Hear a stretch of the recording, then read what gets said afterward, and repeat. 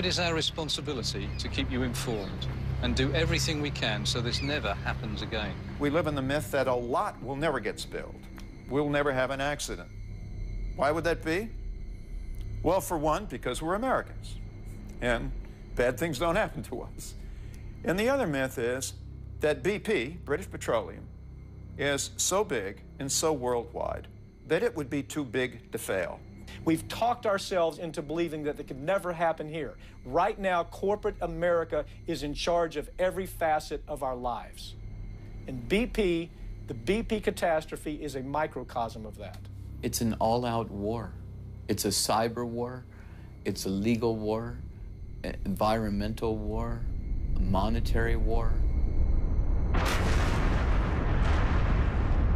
On April 20th, 2010, a powerful explosion rocks the Deepwater Horizon drilling platform in the Gulf of Mexico. It leads to what will become America's largest oil spill. 130 liters per second gush from a leak 1,500 meters below the surface, 400,000 liters per hour. 11 workers lose their lives. 115 are rescued, all suffering from shock, many with severe injuries.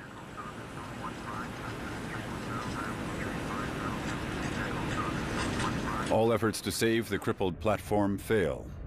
Two days later, it sinks to the ocean floor.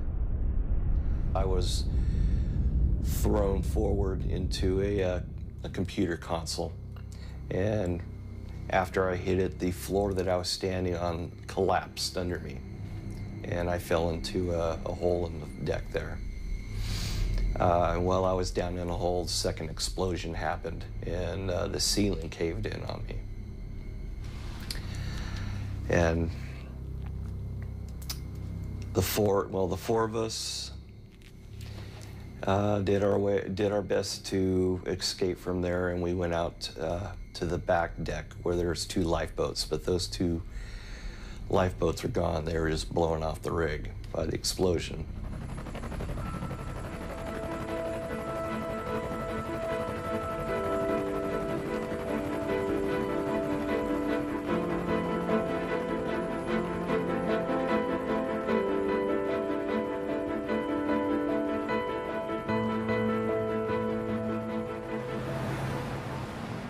Houston, Texas. Doug Brown was the chief mechanic aboard the Deepwater Horizon. He has an informal meeting with his attorney. An eyewitness to the disaster, Brown has declined interviews so far. Now he grants us a meeting in his hotel room. I was uh, interviewed by the Coast Guard first, and then after that, I was interviewed by Transocean lawyers. And I was not allowed to have my own lawyer at the time. Nothing was ever said about that. And they also did all this after me and the others who were with me being kept awake for over 40 hours at this time. Brown believes that behavior was part of a deliberate strategy by BP. Now he's hired Steve Gordon, a lawyer specializing in maritime law. Uh, adjusters, uh, making them sign some statement like, I was asleep, I know nothing, I saw nothing, I'm not hurt. You know, sign here. Then you can go home. So, I mean, how could you not know anything? Give me a break. Brown says he was pressured into signing a non disclosure agreement. It was as if the companies operating the rig had something to hide. On one hand, they're like, oh, yes, we're going to pay all legitimate claims. And on the other hand, they're doing everything possible not to pay a dime. Um, there, there's been no hand reached out from Transocean or BP to say, how are you doing? A major legal battle has begun over the responsibility for damages and liability claims. BP was operating the platform, yet under lease from Transocean. But Halliburton might also be partially liable. It was in charge of drilling procedures and evidently covered up severe flaws. Houston-based Cameron provided the blowout preventer that was supposed to stop the leaking oil, but proved woefully inadequate. Schlumberger was contracted to oversee the oil well, but their employees left the platform on the day of the explosion without shutting down the well first. The question also arises of how much blame the U.S. government shares. It subsidizes deep-sea drilling and yet allows the oil companies to work with little oversight. Then there's Transocean, the owner of the sunken platform, Doug Brown's former employer. Insurers compensated Transocean for its loss. Then the company filed a limitation of liability claim based on a federal law dating back to 1852. Then they're filing limitations trying to limit their liability to $26 million. Give me a break. After receiving $401 million, they're the only people that's been paid. It's disgusting. You can't put a cap on something like that. When there are mistakes made and you're responsible, you're responsible. If I get in a car accident and I hit somebody, I'm responsible for paying for that other vehicle or the person's injuries. That's my responsibility as an American, as an adult, and to tell a large multi billion dollar corporation that you don't have to pay that. It's disgusting. And it's sad. Few oil industry insiders have commented publicly on the spill. But John Hofmeister, the former boss of Shell America, has made his views abundantly clear. What happened on the Deepwater Horizon? This was clearly a man-made incident. Hofmeister knows what he's talking about. Before the Deepwater Horizon disaster, he and his team successfully drilled some of the deepest wells in the Gulf of Mexico. They also pushed drill pipes through thousands of meters of water to reach the oil reservoirs still further below. The operating costs of modern drill platforms add up to about $500,000 per day. That is why planning is vitally important for such high-tech operations. To find the oil, but also to identify risks and dangerous high-pressure zones where drilling speeds must be scaled back. In turn, planners can gauge how many drilling days are needed to avoid serious mistakes and time pressure. The Perdido project took 14 years to complete. Every piece of equipment has been built to withstand most extreme conditions. Yet essentially, the same safety technologies were used aboard the Deepwater Horizon.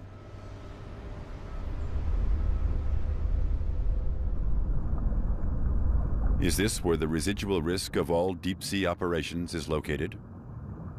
The former director of Shell America disagrees. Something went badly, badly wrong. The Deepwater Horizon clearly never should have happened. This was a bad, bad situation on one rig at one time. We've drilled over 35,000 wells in that Gulf over 40 years. This has never happened. The industry has drilled over 2,200 deep water wells. This has never happened. We have to find out who said what, decided what, about whatever, at what time in the process that led to this tragedy and the loss of life. The Deepwater Horizon operated for seven years without accidents. But under this BP operation, everything changed. Yes, that well was a complete nightmare from the moment we started on it. The drilling began in October 2009. Then Hurricane Ida swept through the Gulf. After only 40 days, the first drilling attempt had to be suspended. The uh, drilling of that well and up to the completion was only supposed to take, uh, I believe they said like 90 days. And with all the problems that have happened with that well, uh, the drilling was way far behind schedule. And uh, it was costing BP millions of dollars. I'm pretty sure it was in the millions. And uh, so there was a lot of pressure for them to hurry up and complete this well. Did BP sacrifice safety to save money? But when you rush, or if you work with defective equipment, which may well have been the case, you can put people's lives at risk. That should never happen. And if you go too fast, in like in this case, what it does is it causes the uh, the uh, formation that they're drilling through to uh, fracture.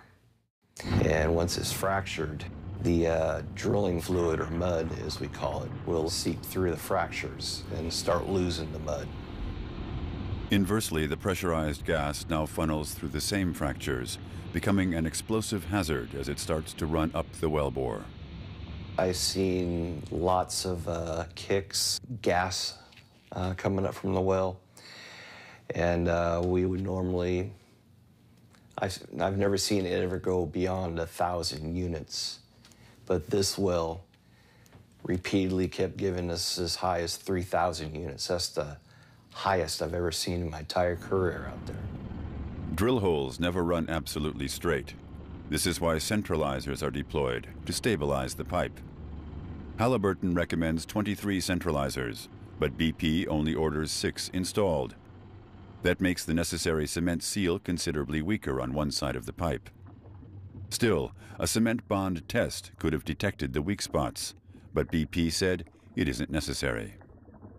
On the date of the incident, Schlumberger uh, had indeed left the rig, and they weren't going to be performing their last uh, uh, pressure test. Uh, I was told that the uh, did not leave on their own account, that they were told to leave. That, hey, the test isn't going to be done, you're free to go. Ten hours later, the gas and oil start to shoot up the well bore. Only the blowout preventer can still shut down the well. But its hydraulic valve is too weak. It can't build up enough pressure to cut through the pipe, only squeezing it without sealing it. Earlier indications of a major defect were shrugged off. And ignored a lot of things that were wrong just so they can save themselves money. BP estimates that 4.7 million barrels of oil leaked into the Gulf. It claims that a quarter has been recovered by emergency platforms. Only a small fraction is skimmed from the surface. The greatest concern is that the crude will reach the mainland, less than 80 kilometers away. BP wants to avoid such a widely visible scenario at all costs. BP and the U.S. Coast Guard agree to spray a chemical dispersant on an unprecedented scale. Another estimated 40 million liters are burned intentionally on the surface. The remaining two-thirds of the crude seem to have disappeared, according to official numbers.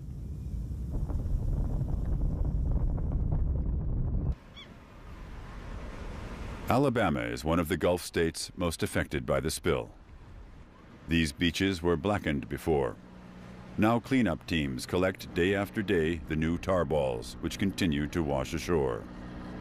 Still, everything seems to have recovered at an astonishing speed. But locals know that all is not as it seems. You scrape off the top, you can see the white sand underneath. Massive oil, all of this. And you can see it all. The oil has mutated into a variety of forms. And this is the stuff we're worried about. We don't know if this is going to cause or what kind of health impacts this could cause. Is it going to kill the hermit crabs? Mm. Are we going to survive this? Mm-hmm. Is it going to last forever in the environment? We need to know all of those things. And EPA has not tested and hasn't told us what this foamy, frothy oil mess is. Mm-hmm.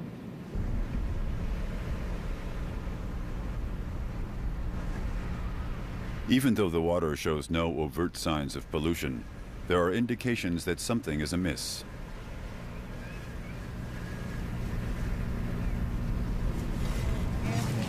A port in Alabama. Many residents found a new job with one of the many cleanup crews. They're mainly deployed in highly visible places.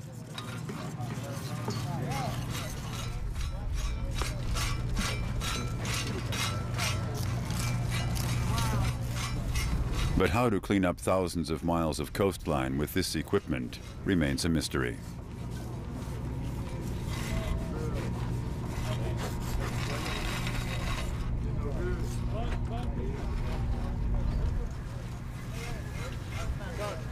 Now we're individually scooping up tar balls on beaches.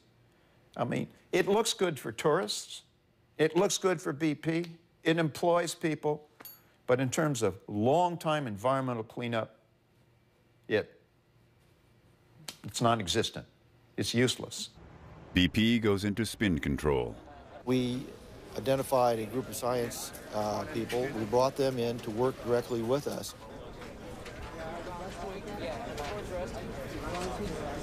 And we're trying to do our job as best we can and do the best for the environment. And we're working hard and we'll continue to do so until the spill is cleaned up.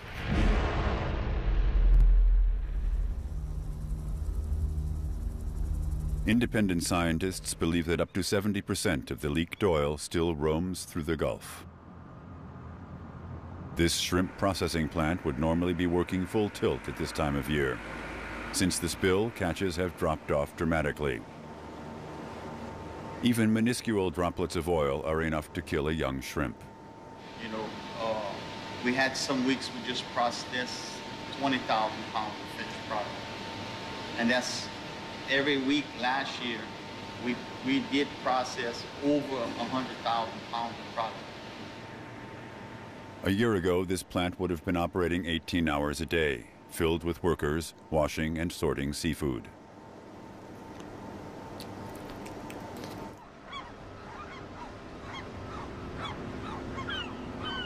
Now BP has employed many of the fishermen for the ongoing cleanup effort. Our camera team has chartered a fishing boat, hoping to get a first-hand look at the spill area. But the trip is canceled on short notice. Yeah, there was a recent article in the newspaper, or the, the Daily Comet, that if anyone is caught near the oil from the spill, there was a $40,000 fine. And uh, if I remember the article right, it was being uh, administered by the Coast Guard. At first glance, the Coast Guard seems to have imposed the fine of its own initiative, but another story seems to be told behind closed doors. This is an IMT, an incident management team. So we are working together in what we call a unified command, where BP works side by side with the Coast Guard. Tony Hayward, then still head of BP, demonstrates BP's strong tie to the Coast Guard. What I want to convey to all of you is that we are throwing everything at this. I have said all along, we will be judged by our response. We are ensuring that we have all of our lines of defence available should we need it. Most of the Gulf Coast has been lined with protective booms. The new law keeps the media at distance and makes the coastline almost inaccessible. The inhabitants of Grand Isle in Louisiana can feel the impact. Here too, the fishermen are out of work. Normally, they would be loading boxes of fresh catch seven days a week. This deadlock starts to stir frustration and anger.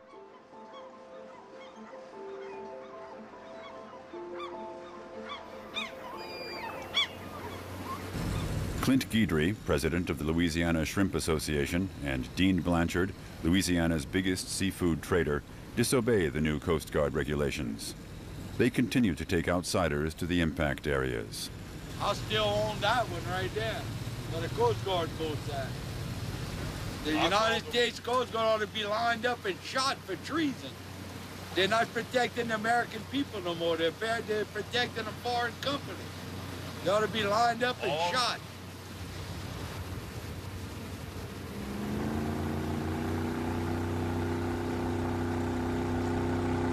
Big oil dominates Louisiana, providing income for 17% of the population. Fishing, in comparison, supports only a few.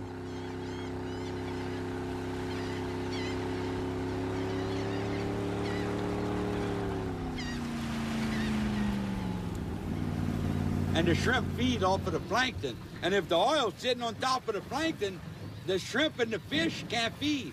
And everything works off of the inside. All the little fish come in here, and then they start eating, and as they grow, bigger fish eat them, and it's all a big chain, and then it all works with the Gulf. You're supposed to be 65 feet away from that boom, and we're probably about 40 feet away right now. We're breaking the law, what we're doing right now. If they catch us, they could actually arrest us. Except for the booms, there seems to be little trace of the oil.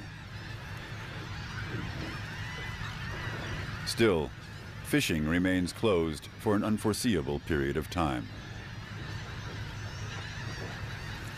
They gave me a death sentence. That's why I'm so mad at the British. They gave me a death sentence. Everything I worked for, 28 years of work and all my life is ruined. Now I get up, I go to my office, I walk around in a circle. I don't know what to do with myself. You know, I might never work again. Many local fishermen have lost hope. No one knows how long the chemical impact will remain in the food web. Yeah, that boat right there, that big boat, the Rachel Colley, it belongs to my cousin. They're giving him $15,000 a day just to sit there. He ain't doing nothing, nothing at all. It, it's a, just a show for the media. Nobody's really doing nothing. Thousands of boats seem to be standing by idly. Is the oil cleaned up after all? Well, basically what happens when a lot of oil comes in, when the tide switches, a lot of oil comes in, they'll make all the boats at night go in a certain location. Then they'll come in here at night with military planes and helicopters, and they'll spread disbursements on it and make it sink. The next morning, the boats come out where it was full of oil the night before. The next morning, all the oil's gone. It's all on the bottom, out of sight, out of mind. Even though there is no oil visible, it's everywhere. We don't know what's going to happen. Well, we don't know. There's so many, there's so many question marks on this huge gamble of kill the ocean, save the beach. Raw crude from this region typically has a reddish color.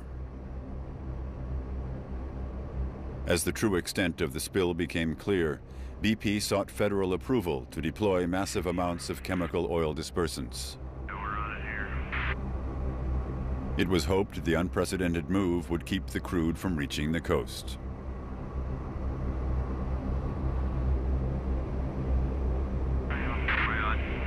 The dispersant chosen by BP is banned in Europe. Although BP's headquarters are located in Europe, regulators in the U.S. are less strict, and BP gets the go-ahead for the dispersant. We are applying a chemical, a safe chemical, to disperse the oil. And on this incident so far, we've already dispersed more dispersant than has ever been done in the cumulative oil spill responses in the history of the industry. Two months later, the oil still gushes into the deep sea, affecting a surface area the size of Portugal.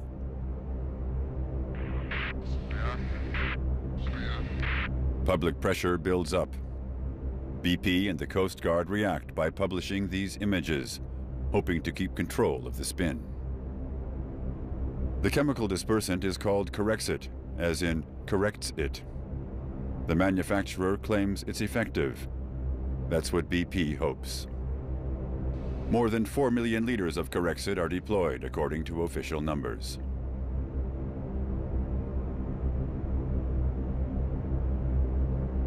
The petroleum industry has come to like dispersants. Simply spray them onto the surface, and the oil seems to disappear. Essentially, the chemical dissolves the plumes of red oil into fine droplets. This is how Corexit works. The combination of chemicals breaks the oil down into tiny globules that sink below the surface and are suspended in the water. That makes the oil invisible to the naked eye. But it's still there. It has just been distributed throughout the water column. Corexit may not be as harmless as claimed. Ships involved in the cleanup have reported an increase in engine problems. Corexit dissolves essential rubber seals that are impervious to seawater. Cleaning doesn't seem to help.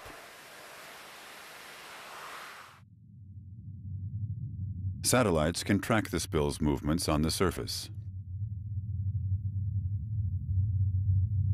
In areas where the water shows no traces of oil for days, oil suddenly reappears from beneath the surface until it sinks again where it can no longer be tracked. What we see in the Deepwater Horizon oil spill is skimming, burning, dispersing, and otherwise cleaning the beaches. It's very ineffective. It's very old school. What I've been advocating to both BP and the Coast Guard on behalf of a number of engineers who have some experience with this methodology is called suck and salvage and separate, where you use pumps to actually suck the oil out of the ocean. Then you can separate the water from the oil, put the water back in. You need super tankers. You need very large boats in order to accommodate that much volume. During the first month, the sea is calm and perfect for skimming. But BP orders no tankers out to collect the oil. Finally, the shipping company TMT sends a tanker at its own expense. But now it is too late. The oil is chemically broken up into tiny particles which can no longer be skimmed. I think we've missed an opportunity to collect a lot of the oil that came out of that well. Whether it's too expensive, I don't know. I think it would be expensive, but I think it's even more expensive to flood the marshes with oil, to flood the beaches with oil, because the liabilities for the business lost in those communities will be huge and will continue for some, some period of time. The currents have conspired to push the polluted water inexorably towards the pristine marshlands off the Louisiana coast. Clint Guidry's family has called this area home for generations.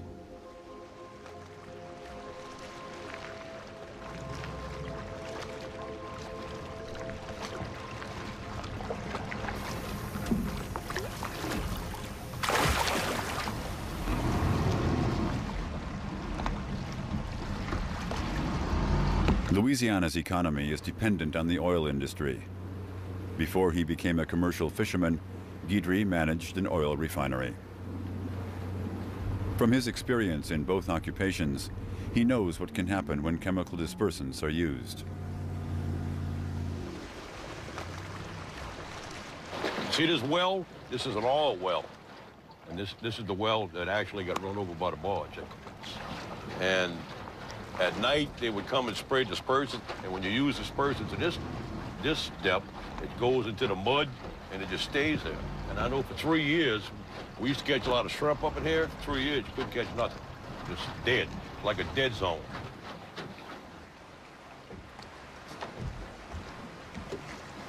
Dr. Riki Ott has been brought in. She's a marine toxicologist. Until 1990, Ott was working in Alaska's commercial fishing trade. But the Exxon Valdez oil spill made her change careers. She became a toxicologist, specializing in the side effects of Corexit. The industry likes to say uh, the oil will miraculously be eaten by, you know, bacteria and disappear. Bacteria are very good at eating alkanes. These are straight chain, chain uh, carbons that are hitched together much like a, like a train with different cars. The bacteria can just be like Pac-Man and go chomp, chomp, chomp and eat one alkane, uh, you know, carbon after another until the oil, in fact, does disappear. The problem is what the mess that's in the Gulf is alkanes and aromatics. Even though bacteria break down long-chain oil molecules, they aren't effective against cyclic ones. These remain in the water, which was discovered following a 1968 oil accident. The polycyclic oil molecules are still there. And what happened during Exxon Valdez was we also used Corexit 9527, um, which is being used here in the Gulf. And Corexit 9527 contains a human health hazard. It breaks apart blood and, and breaks down blood cells, causes kidney damage, liver damage, blood disorders, and it even kills babies in the womb. It's a fetal toxin. I mean, this is a nasty chemical. When the oil industry says these dispersants are non toxic, what they mean is they're non toxic based on outdated 1970s era bioassays. The scientific community knows that dispersed oil is more toxic than not dispersed oil. And it knows that dispersants and dispersed oil are more toxic than oil alone. So, what this chemical effectively does for the oil industry is it takes care of a public relation nightmare, which is oil all over the surface of the ocean, and pushes the oil instead down into the water column. At least this goal seems to have been achieved. The public starts to ignore the hidden oil, and children romp on the shore again. Most environmental laws in the U.S. are lax compared to those in Europe. BP gets permission to experiment. For the first time in the history of the industry, we are now deploying dispersant at the source of the leak, 5,000 feet beneath the seabed, and it appears to be having a very significant impact. At a depth of 1,500 meters, BP sprays 2.5 million liters of Corexit into the toxic crude. When critical scientists start to protest, further deployment is no longer publicly documented. BP defends the use of the toxic dispersants, claiming they will facilitate the bacterial decay of the crude. Measurements reveal that the oil has not been broken down as had been hoped. In fact, at a depth of 1,200 meters, a solid oil plume is discovered. In this area, upwellings occur, which naturally lift nutrients from the deep sea. Now they're lifting oil too, which in turn is picked up by naturally occurring currents.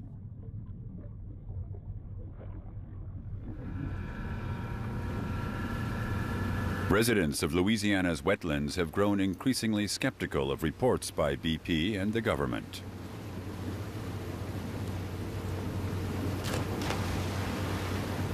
They formed a network to close information gaps about the true impact of the oil. The purple ones are all fishing organization representatives. Some of them Riki goes to, um, where she already has the contacts. This thing is too big for any one of us individually, one of these groups, to do by ourselves because we can't we can't beat a big corporation and the government by ourselves. This stuff right here was the stuff that was in the canal. This is the little bitty dots. You're gonna see the dispersed oil. It's like thousands of little tiny red dots in there. Yeah, I seen it. I could see. But when I seen it, it was see in a, it? it was can you a- see yeah. them in there? That's just through the whole water column from the top to the bottom, and you can never. How are you ever going to clean that up? Right. See that? See all that little That's- red dots? That's, dispersed oil in the canals. When it comes in like this, it's not sticking to the absorbent boom. And this clearly proves that uh, it didn't work, you know. They've handed out small cameras to cleanup workers, asking them to secretly film their cleanup work. The methods used are not the most effective methods. There should be equipment manufactured, fabricated, and created to deal with a spill this magnitude. I think that they're using manual labor and that they're paying us well to keep us quiet so that so that they can continue to do business so that we don't have a national or international boycott of BP. Uh, I don't think that we're going to be able to capture much. We're not being that effective. This statement could cost him his job and the only income he has left. Workers are bound by contract not to discuss this bill in public. BP says, don't, don't, you're not, allowed, you're not allowed to talk to this worker. Well, who says I'm not allowed to talk to this worker? The sheriff's office? No, BP said it. It's a police state. It's worse, it's worse in Louisiana than it is here, and um, it'll continue getting worse. It's, it's, it, it- look, it is that totalitarian idea that we have to be in control of everything. It's part of the corporatism I'm telling you about. Mike Papantonio is rated among America's top lawyers. He's specialized in corporate crime. Okay, we ready, gang? You gotta, you gotta film it? Yeah. All right. Papantonio also co-hosts a radio show, keeping a critical eye on American politics. We'll still probably have about four minutes till air. Papantonio has successfully defended victims of corporate malfeasance, which may also apply to the BP case. Turn up your mind. But it's all part of practicing law nowadays. Well, joining us on the line right now is environmental attorney Mike Papantonio. Mike, uh, thanks again for, for being with us. We're seeing a pattern of BP making insane decisions on behalf of government. You talk about how horrible the BP story is, but you know what, Nicole? That same story is told on Wall Street every day. It's told in every facet of our American life, and we sit there and let it happen because we're more concerned about what the hell Paris Hilton wore yesterday to a party than we are what's happening to our democracy.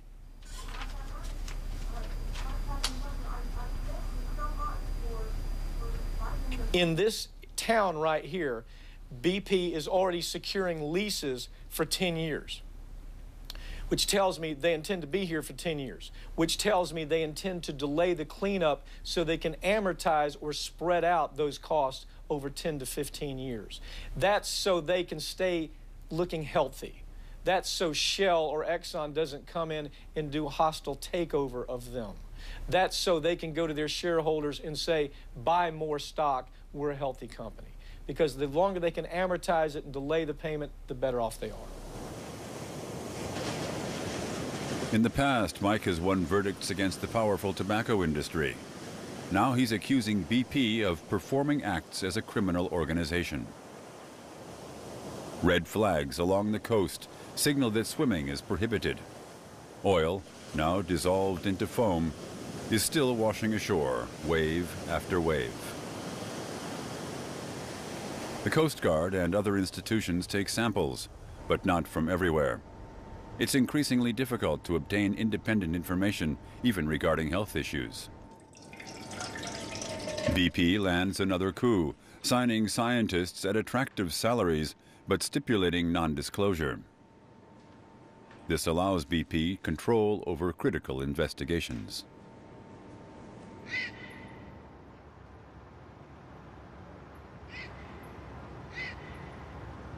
And I am determined that we do the right thing, we do it the right way, and we communicate in an open and transparent way to all of our stakeholders. But BP has lost shareholders and is now even more focused than ever on cleaning up its image. The question is whether this horror movie will, will turn on a light in the American mind and say, hey, we, you know, we're, we're partially responsible. We have to change. We have to get the government to change. Will that happen? We're a very short-term people, you know. BP will last in the news until they cap the well. On July 15, 2010, 90 days and an estimated 750 million liters later, a temporary cap is put into place on the wellhead. Both BP and President Obama deliver the good news to the American public. As drilling goes ahead on relief wells, complications continue to crop up. Just one month later, gas bubbles form near the sealed leak. If I learned one thing during my tenure as Shell Oil's president, I learned that the American people, given the facts, are smart and they are pragmatic.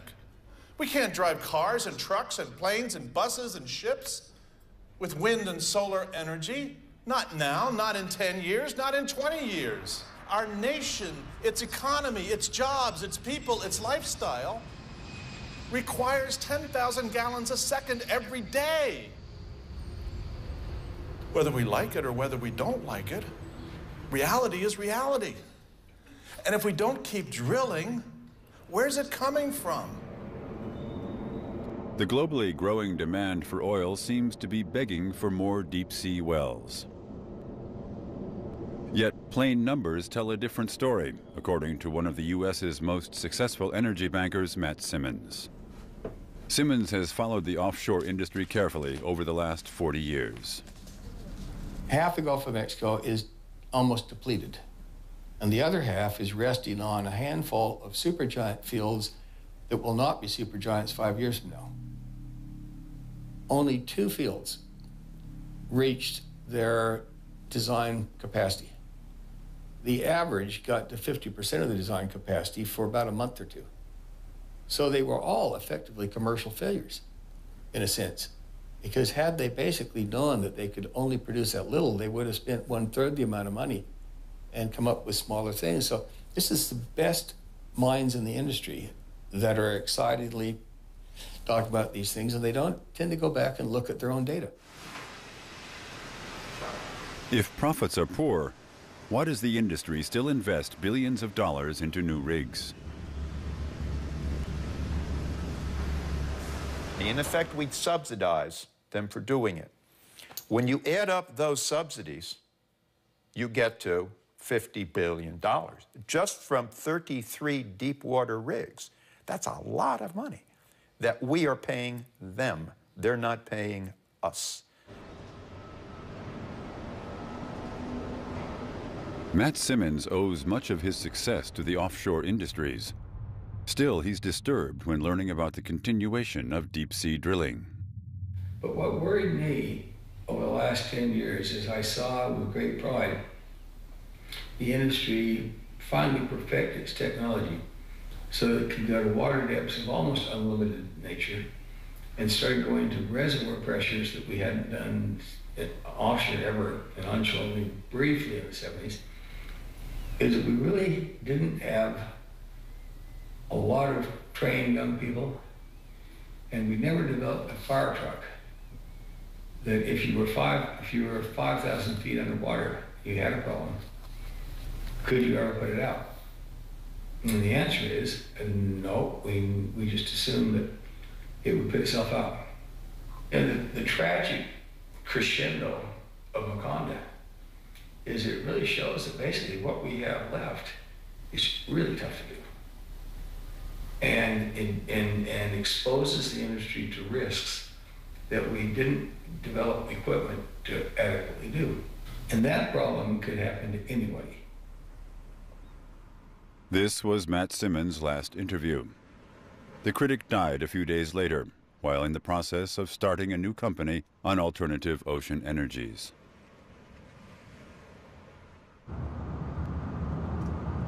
Meanwhile, the wheels of the oil age continue to turn. The notion that there's something called clean energy and something called dirty energy is a myth, it's a misnomer. Because every energy, every form of energy has implications. For example, we're counting the dead pelicans in the Gulf. Why aren't we publicly exposing and counting the dead birds that try to fly through wind farms by the thousands.